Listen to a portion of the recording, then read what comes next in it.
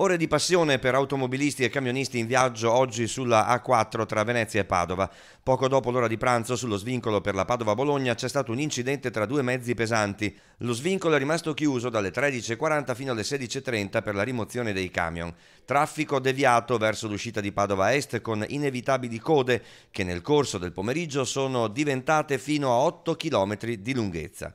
Uno dei due autotreni trasportava cherosene, perciò i vigili del fuoco hanno chiesto per precauzione di far bloccare brevemente il traffico in entrambi i sensi di marcia e in direzione Trieste le code hanno così raggiunto i 10 chilometri.